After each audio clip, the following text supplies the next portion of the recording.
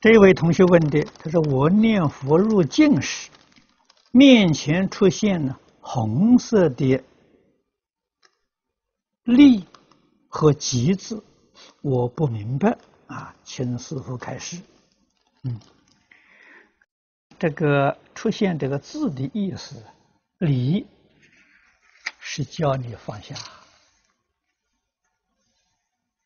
啊，利一切。虚妄相向，《金刚经》上告诉我们：凡所有相，皆是虚妄。啊，怎么离呢？不执着就是离，啊，不是真的要离开，啊，那是离不开的。啊，心里头决定不着，不执着，不分别，不执着就是离。啊，离跟急是一个意思。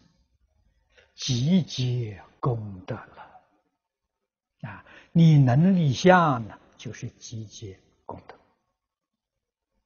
啊！这是个好境界啊！但是不能执着，执着就会容易产生魔障啊！要知道，你呃打坐啊，在这个止境的时候啊，面前出现什么颜色、什么境界。